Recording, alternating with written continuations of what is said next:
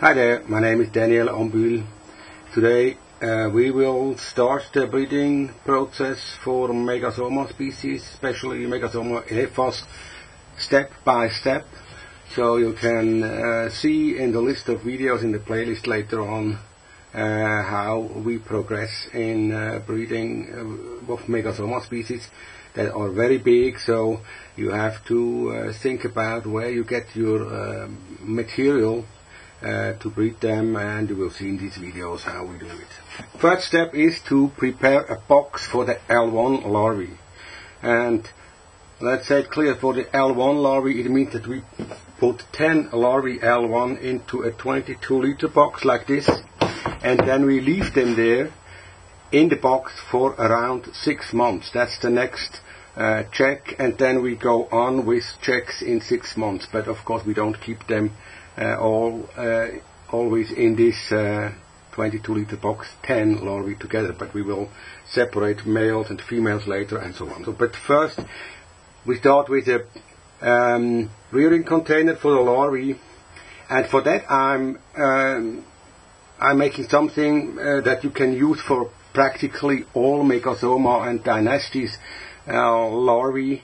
And uh, one of the things I I had in mind was uh, what happens in half an year in a rearing box like that. Mostly uh, when a larvae start chewing on the material, uh, the material is getting more and more compacted and during this process also not only it's getting compacted but it's getting wetter and wetter a little bit so how can we manage that the the substrate uh, is uh, staying a little bit uh, soft and um, well aerated so that's why I do it in the first step with this kind of material on the bottom it's a pure beech uh, sawdust with nothing else in there's no glue in there to keep the pellets together. It's just pure beech. You will find it if you have a look uh, in uh, in factories that produce um, um, material from timber. This is only beech, so I, I make smaller parts of it, and then with this kind of, it's around one kilogram I mean, the larvae can't eat this, that's for sure, because this is uh, this is a, a, wood that is not yet um, eaten up by mushrooms, so that will not be um, food for the larvae. But what we do here, we just cover the bottom of the of the cage with these with these uh, pieces of that uh, beech pellets. So, and the idea is that this is kind of the of the bottom of a hollow tree where there is the the the wood of the tree not yet dead but it's on the way to degrade degrade because likely in half an year this will degrade also and then in that process of degradation it could be edible then for our insects too. So that's the bottom uh, of the cage. Now the second material that we use is uh, flake soil that is also made out of this uh, beech sawdust, but it's fermented. That's what we see here. And it's mixed together with leaves, rotten leaves of oak and beech and also it has small parts of uh, of little branches of trees and things in it. So that's um, the second uh, material that we use, and we just cover now this. We just cover these pellets with that substrate, and here you can press it slightly. So, so well.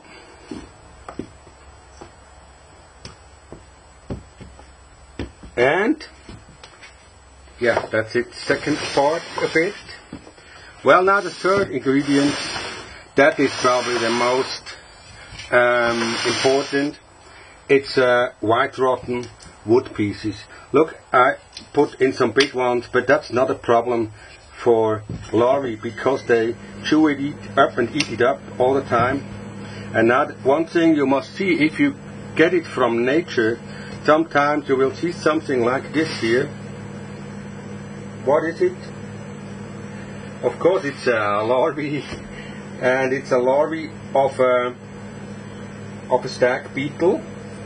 It's Dorcus parallelepipedus and they often you will see them often. If you have white rotten wood in the garden you will find them sometimes in, uh, in big numbers. And of course you cannot always prevent them from going into your uh, wood blocks because they, they go out at night and they find the, the wood that they love. But also you can take them out and breed them separately if you want because if you expose if you expose a larvae like this in nature it will last only some seconds and the larvae will be dead because the ants are coming and other animals and will eat that um, little larvae. So you, hear, you see this is a little pellet um, of the larvae. It's completely white because of the white rotten wood. What I do with this one, I just put it in an old kimchi, cover it a little bit with the material. Here, that's it. Old kimchi. And so you can breed Dorcus parallelepipedus also. You know, in Switzerland they are protected uh, species, but protected if I just say, oh, I don't do anything. I just put it outside. What happens? It just dies, you know. So uh, this means protection. If you really want, you can keep it in a box like this, make it to a, a beautiful adult. You can watch how it grows, what it eats, and in around half a year it will uh, live and it will fly around. And also here, sometimes in your breeding in your breeding places where you have your substrate and so on, you will see these animals. That's uh, Dorcus parallelepipedus female here.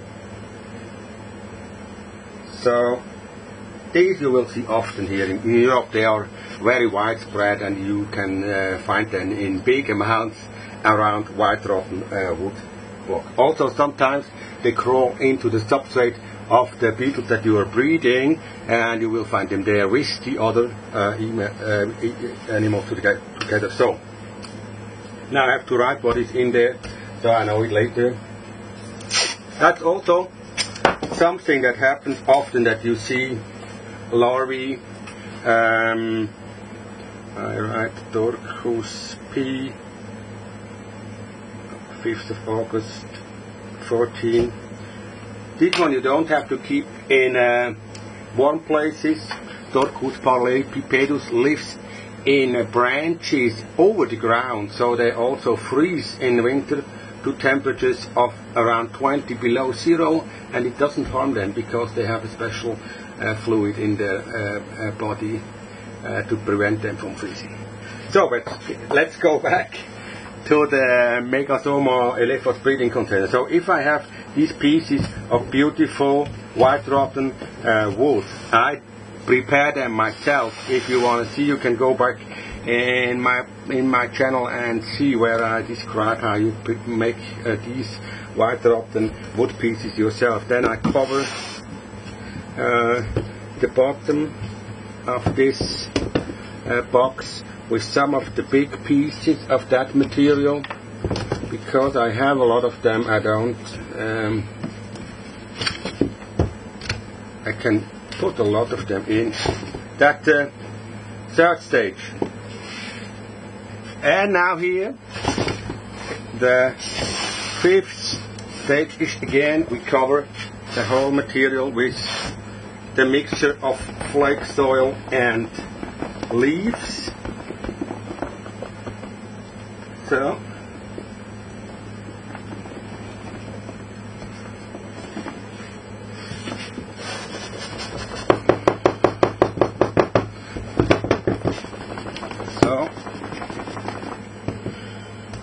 I move it in this way so that it can reach all the place in the substrate.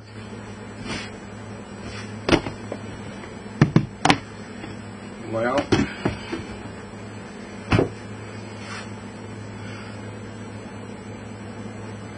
so that's the main uh, setup of the rearing box for Megasoma. On the bottom you have this sawdust with no mycelium, no mushroom in there. Then you have covered it with uh, compressed flake soil. Then you cover it with white rotten wood. Then you fill it up with this uh, mixture of flake soil. And then, of course, what we need? The larvae. Yes, we need the larvae of uh, the beetles. These I have here. Now I think I, I will put 10 larvae into this uh, breeding or rearing container and then uh, we will see whether we already have 10 to start this uh, breeding box.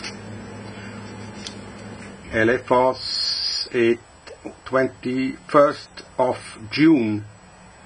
Uh, it was an egg, so that's about five weeks.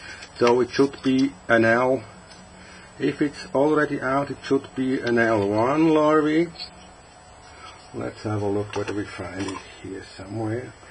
Of course, if it's an egg, it can also, now here it is, the larvae.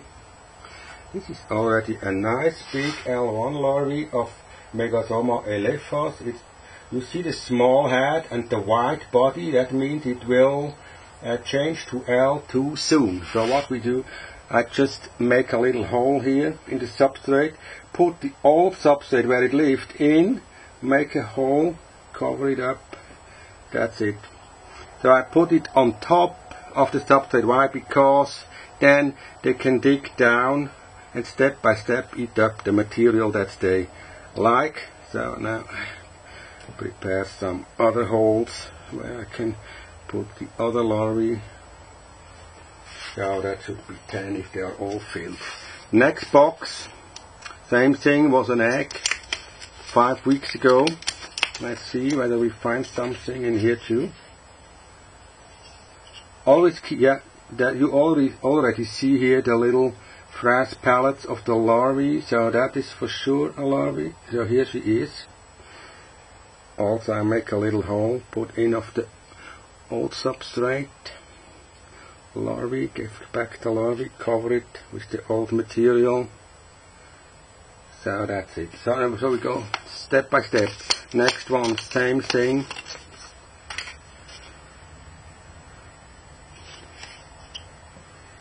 Do we see something here? Uh, there I don't see any frass pellets. So let's see whether it already is out or whether this egg didn't hatch. It can happen, that's it would be unusual that all, really all of the eggs hatch, so this didn't hatch. We go to the next one, and that's what I do now. I just put all 10 larvae on the top. This was uh, L2 larvae, or, oh yeah, here. No, that's not true, it's an L1 it's an L1 actually this is another L1 here.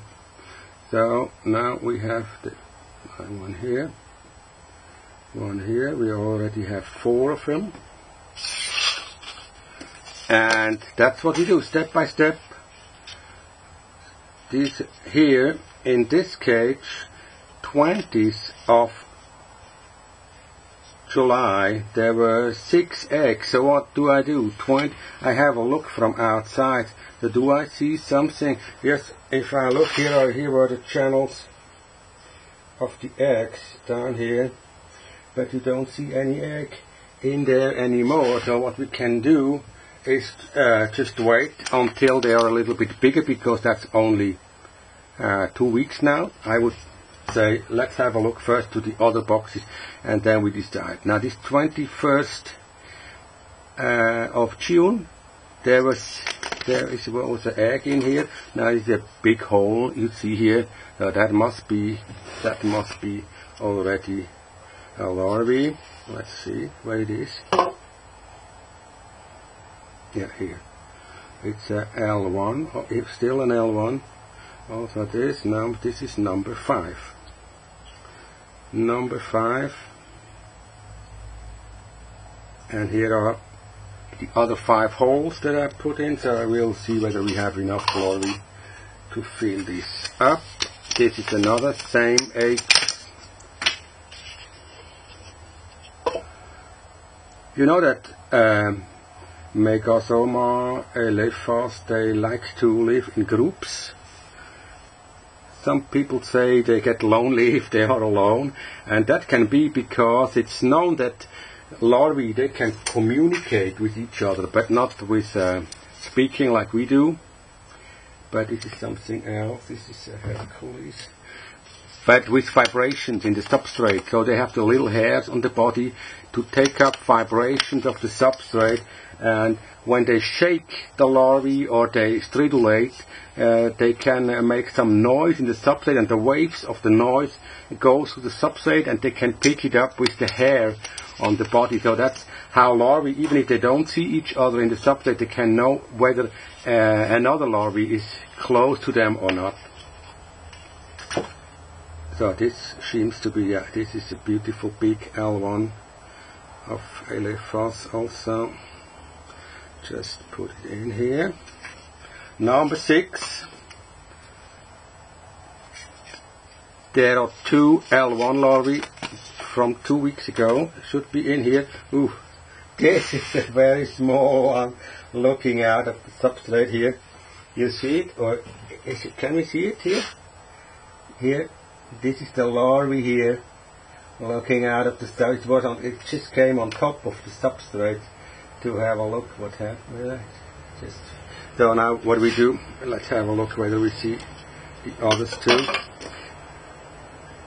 Uh, here, the, this very small one I just leave in here and this one is much much bigger I put down here so it's seven uh, two more uh, L1 two L1 should be in here. Let's see whether we find them. Yeah here's one. Here's one. L1 larvae and the other where is it?